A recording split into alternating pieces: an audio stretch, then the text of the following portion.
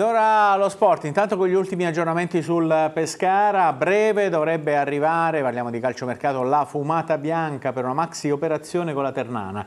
Gli Umbri sono pronti a rilevare il cartellino del difensore danese Fredrik Sorensen in cambio del laterale sinistro Paolo Frascatore, classe 1992 che ha vestito la maglia del Pescara per sei mesi nel 2013 e dell'attaccante Guido Marilungo, 32 anni, ex Virtus Lanciano.